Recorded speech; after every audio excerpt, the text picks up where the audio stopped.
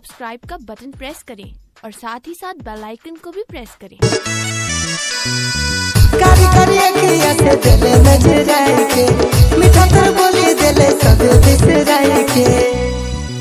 अब मन ना लगा है कहियो, तोरे से बंधल से मिटो मन ना लगा है कहियो, तोरे से बंधल से